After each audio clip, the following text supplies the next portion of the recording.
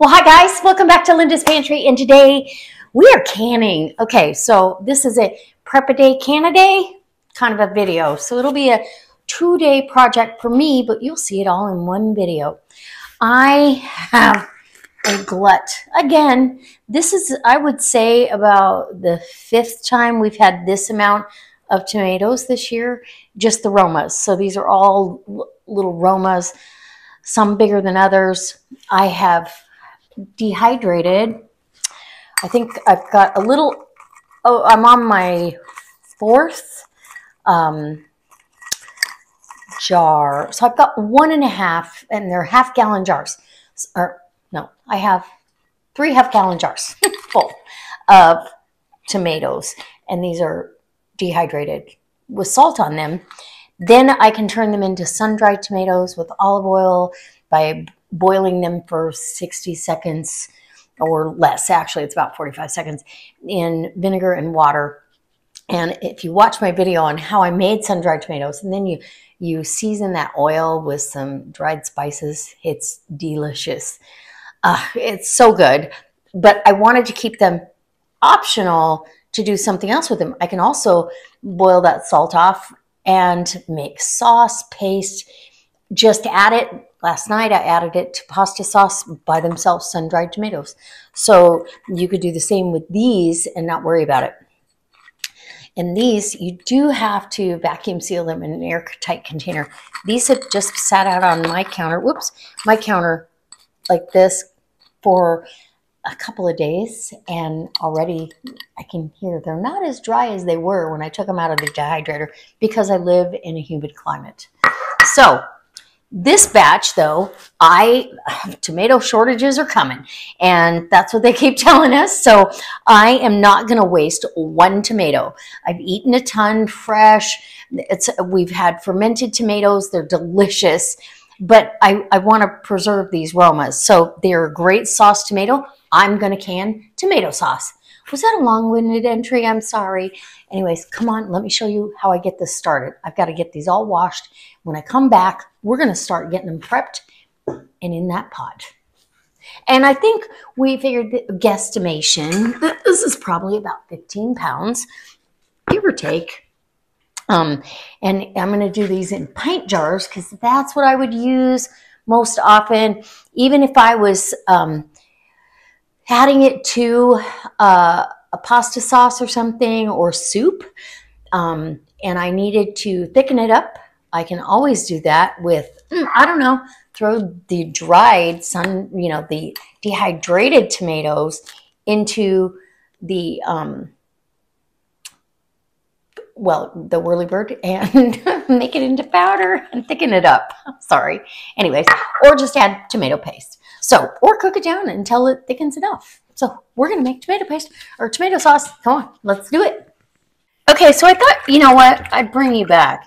I have the Fit Veggie Wash that I use in this. That's why the water looks kind of cloudy when you separate it.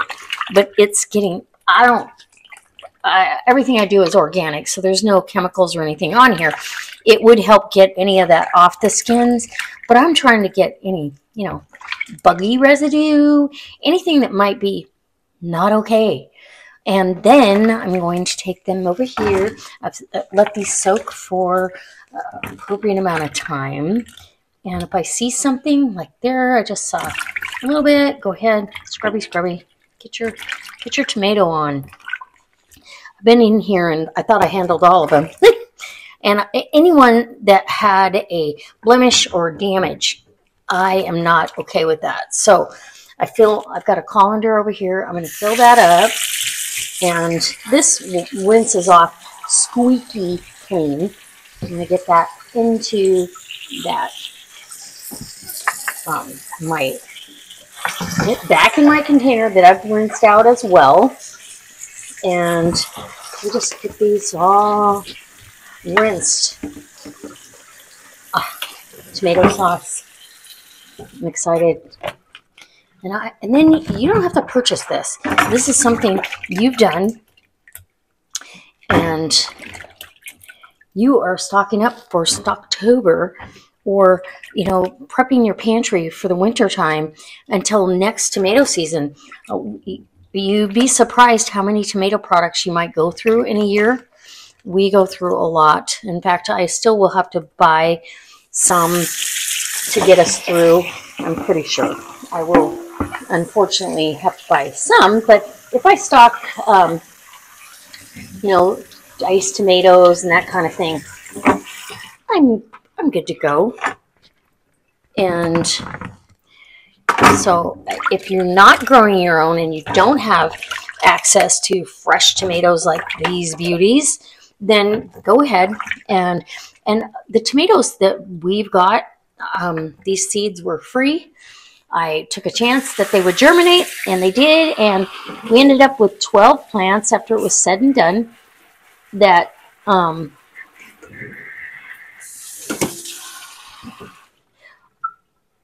have really produced well for us. And Romas are a determinate, so they kind of give you everything almost all at once. So about every three days, we've got a big flush of tomatoes, and it's just been fantastic. So I'm going to do this. I'll probably, hopefully, get to do some Bloody Mary mix and um, maybe some tomato juice. I do enjoy tomato juice. I think one of the last jars I opened the other night, and it's in the fridge waiting to be consumed, the rest of it. I'll probably take some with me to work tomorrow. Nothing wrong with that. Okay, and you can see, even though this is cloudy from the fit wash, um, I can tell there's with some residue. Leaves get stuck to your tomatoes, all of that. So give them a good wash. And then now we're going to go over and start cutting them up. Let's put them in the pan. So I'm following the instructions on in the Ball book. I always try to have a reference book. I um, I I get it. We have this stuff online on the National Center for Home Food Preservation, but I also like to have a hard copy just in case we don't have access to that. And this is just a good reminder of how long it takes, all this. These will be um, pressure canned, and it's really a short pressure canning.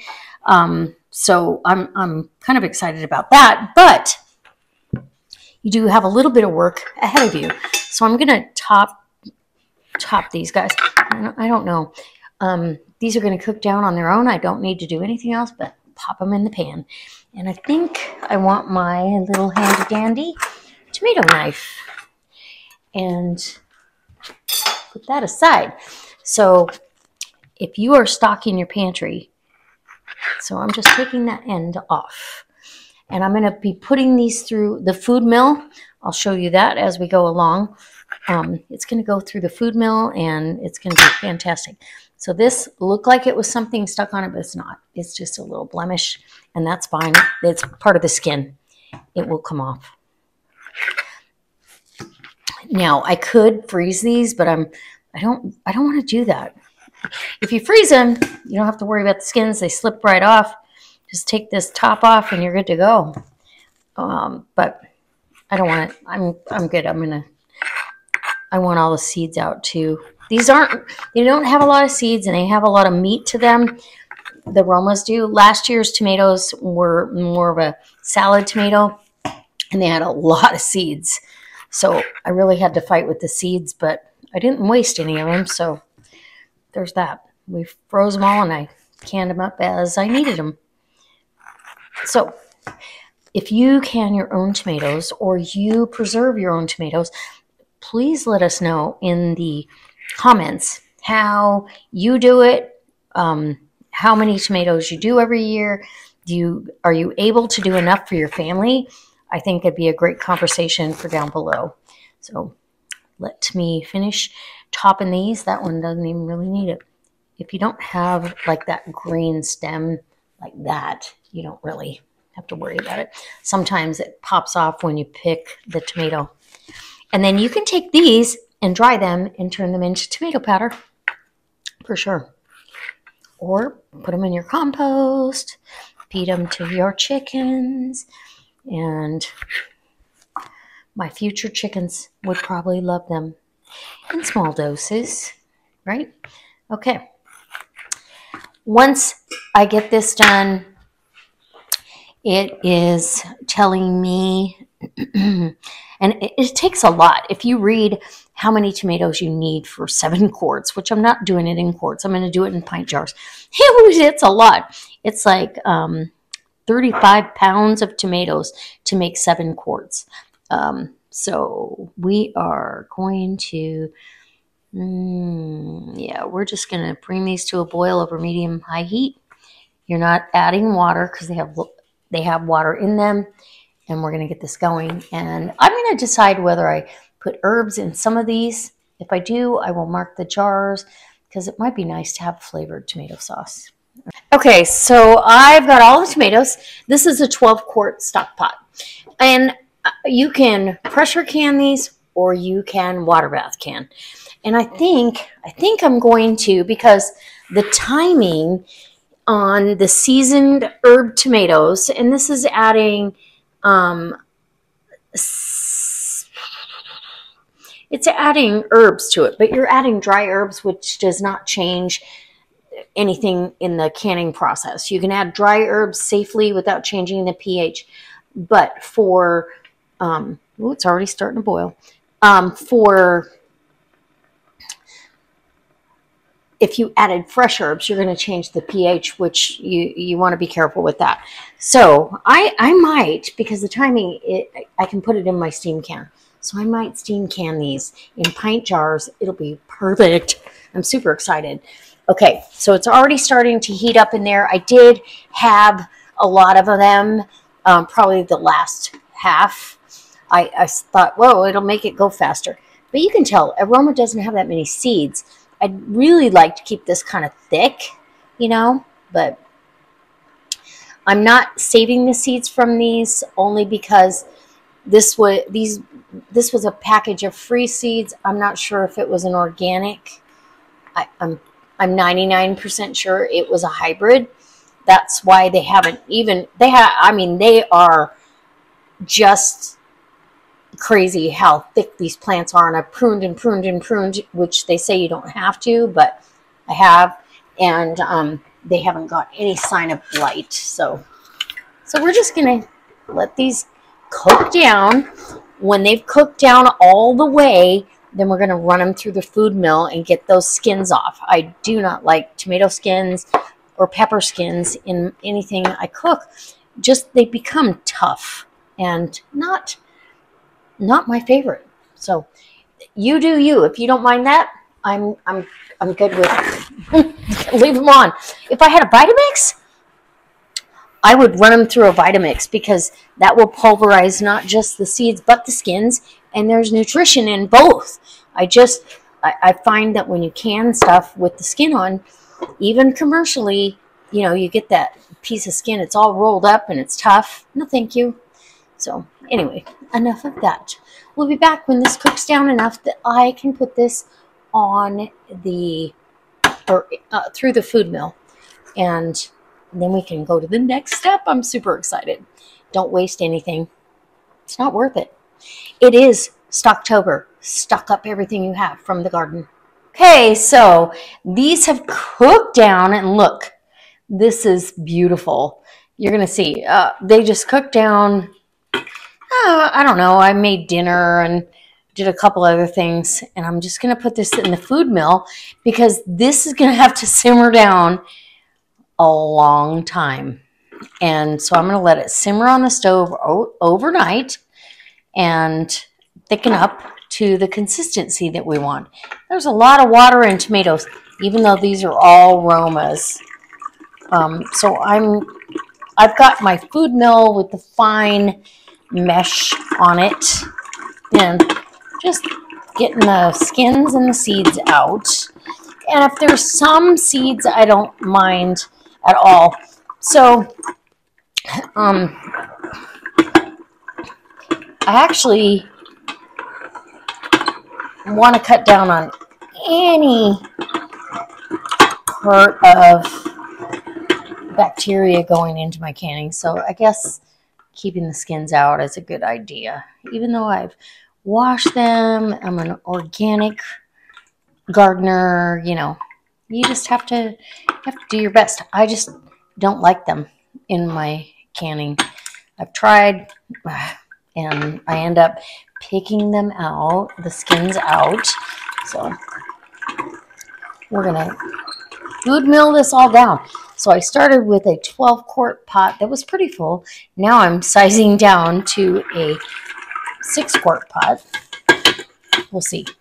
And I, am hoping I get more than that, but I don't know that I will. I don't go through a lot of tomato sauce during the year. If I get another round, I mean, our tomatoes have not stopped at all. They are still going. They're slowing down a little bit because of cooler temperatures at night, but yeah. I'm probably going to do another round of Bloody Mary mix. Um, maybe, I mean, I've got whole tomatoes now. I have, uh, what do I have? I have crushed tomatoes. I now I'm going to have delicious tomato sauce. I'm and I have tons of sun-dried tomato and or dehydrated tomatoes. So I'm pretty sure, I know I have enough of that for the year. So we'll see if we can get the other tomato products that I need. And then if not, I'm going to buy organic tomatoes, diced tomatoes from Costco to stock my pantry for the year. So what this food mill is doing, it's keeping all the skins and seeds up top, all the sauce at the bottom, and it is. It's got a lot of water in it. It's okay. We're going to continue on. And I'll be back when we're done. Okay, guys, so it's the next day, and I'm just going to give you a little short rundown. This simmered on the back burner, on the smallest burner I have, overnight. We both got up several times and stirred it and made sure it wasn't scorching, that everything was perfect. It reduced by half, which is awesome. I am getting a little scorch on the side of the pan because it's now heating back up. I, I turned it off at 3 a.m. this morning and and put that in the fridge by the time I left for work at 5:30. And so now I've got my jars that have been in the steam canner. They are hot and ready to go. My sauce is reheated. It's hot. And let me just tell you, I tasted it this morning. This is a game changer. There is zero salt, zero seasoning in there, and it is divine. It's so good. It's so flavorful. I, I, I, I can't even describe how good this is. And it's like, well, why haven't I done this? So it's concentrated. The flavors are wonderful. I did just go out to the garden while this was heating up to see how many more tomatoes I think I'm going to get. And I'm going to have at least enough for probably, I'm going to guess two more batches as long as our frost doesn't come too early and I get a little, little blush on the tomato. When it starts turning, even if it just turns to a yellow, it's producing the gases that it needs to go ahead and ripen on the table. So I've got my jars hot and ready and I am so excited about this. I've got my Forjars funnel. I am using Forjars lids today. This is my lid of choice. I have a link down below, and if you use my coupon code, which is Linda's Pantry, all one word, no apostrophe, you will get 10% uh, off your total of your order. It's so worth it. We should be stocking up right now because you never know what's coming down the pike. And I need my lid grabber. Oh my goodness. So I always forget something. I need that magnetic wand and I've got it. Okay. I've got my lid grabber. I've got my jar, my hot sauce. And I'm just telling you, this, I tasted this this morning after it cooled down. And I, you know, I shut it off about 3 a.m. And it's just that perfect sauce consistency. It reduced down beautifully. And I tasted it and I was like, why have I not done this? Oh my gosh. And these Romas are they're not a good just chop them up and eat them kind of a tomato. They're okay, but they're not fantastic. And let me double check I double checked my resources for the timing. It's 35 minutes for pints. So let me double check the headspace um, just because you think you know, but you what you know, it's a half an inch. So half an inch. And Forjars has that right there. So it's really that second ring or that, you know, that second ring there, half an inch of headspace. And and there we go. It's all set to go. I'm going to grab one more jar here and I am putting citric acid in here. I am not a lemon juice fan. I'm going to go ahead and put that in the bottom of that one.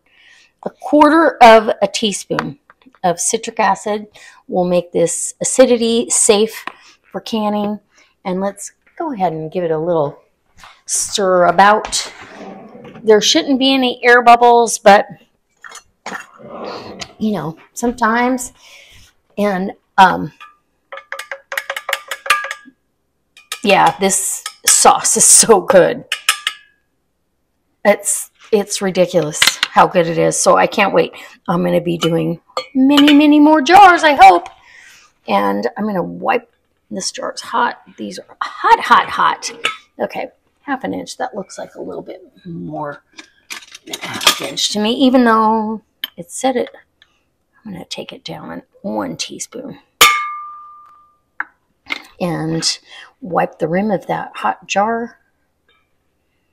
And now I've got my, my lid lifter and I put my lids in uh, back and forth, back and forth so they don't stick together and you end up with two on one.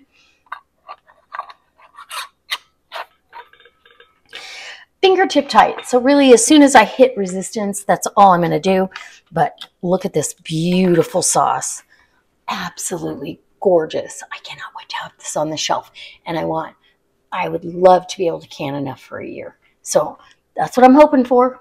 I'm hoping, I'm hoping.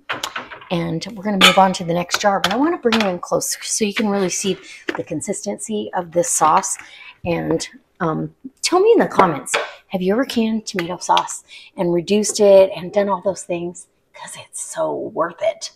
Okay, I have, oh, I've got a hot jar all ready to go. I'm going to leave that over there because it keeps it hot.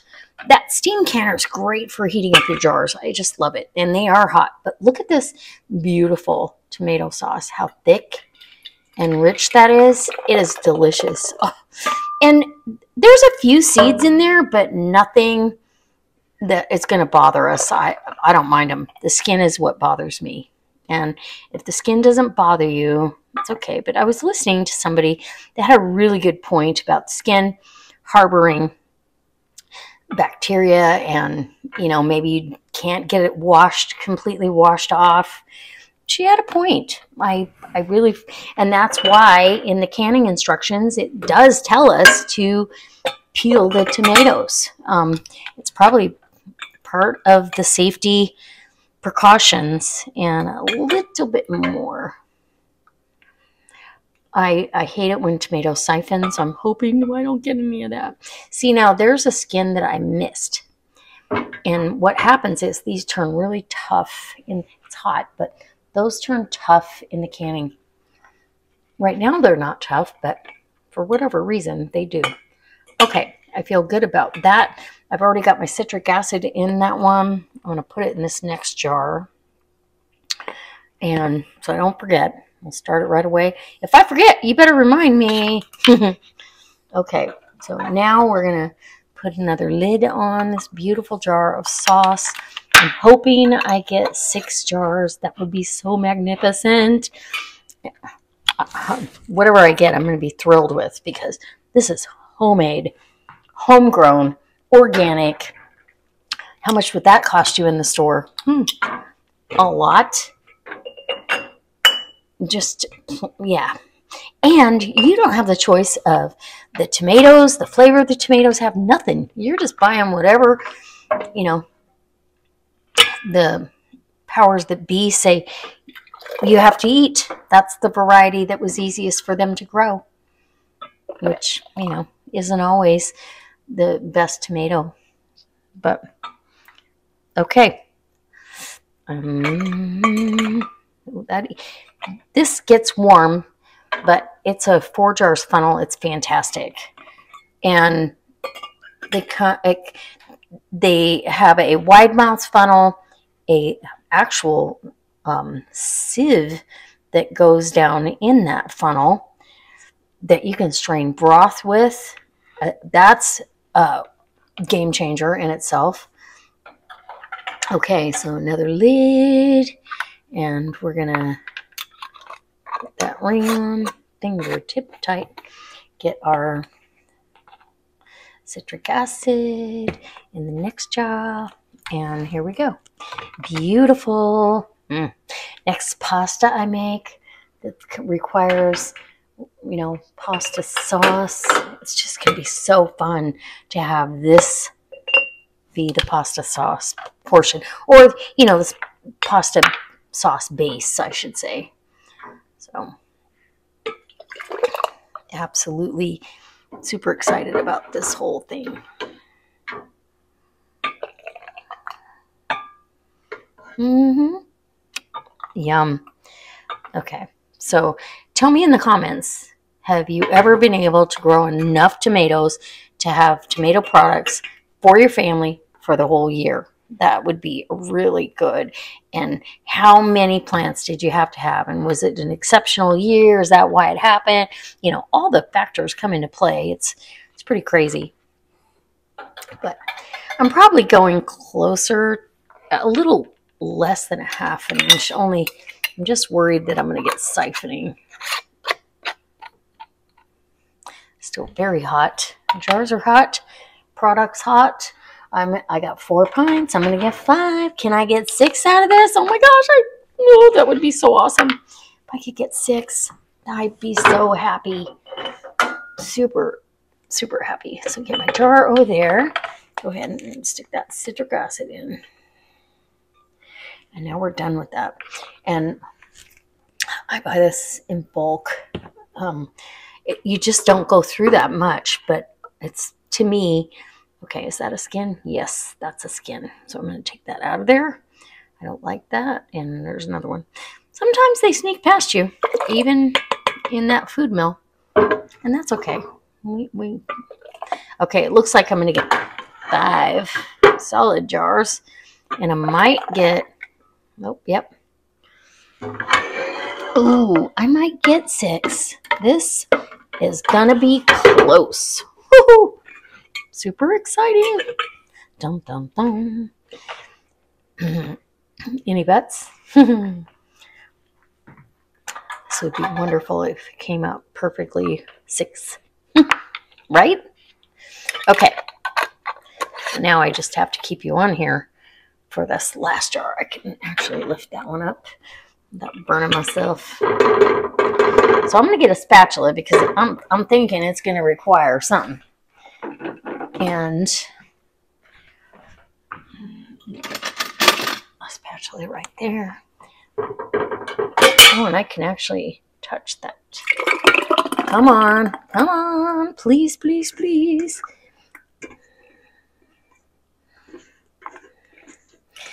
If I have to, I'm adding a little bit of water. Only, I know, and I'll just have to cook it down a little bit. But I'm, I need six jars of sauce.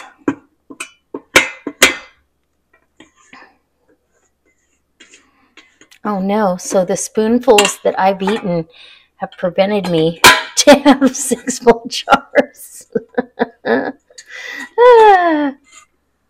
Remember that when you're taste testing, I suppose, right? I think I got it pretty clean.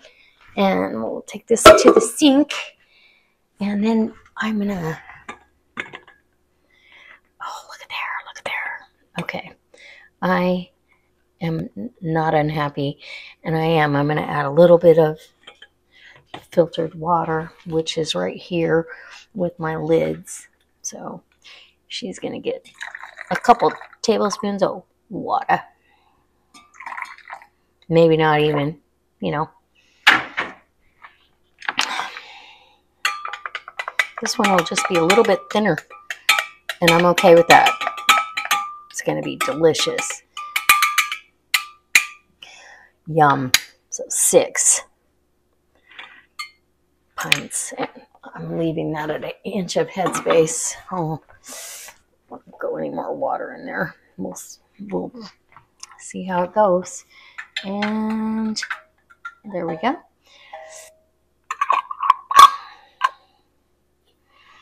Dum, dum. Okay. Hot. Hot, hot, hot. But you can hold on, that ring is cool. Okay, now I am going to move the steam canner ever so carefully over to my, and uh, 35 minutes is not too long. I, am confident there's enough water, but I'm also erring on the side of caution to make sure because it did it was steaming so I want it I want it full and now we're going to turn this steam canner on and as soon as the dial here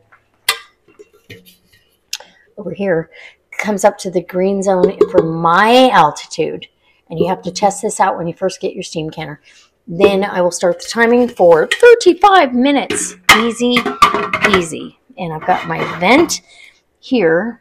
There's a hole over here that vents steam. I've got that pointing outwards so it doesn't do anything to my cabinetry. So I'll be back when this is done. I'm super excited. Can you tell? Okay, guys, it the timer went off. I put the lid so the steam could come out and let it kind of calm down a little bit. And now I'm pulling these jars. These have all sealed. This one in the center has not. Um, not yet, but it's quite all right. We'll, we'll let it sit and rest. Uh, the heat's probably centered around that one. And so we, um, yeah, it's got a it's got a, get a little bit and the headspace is fine so i'm not sure we'll see.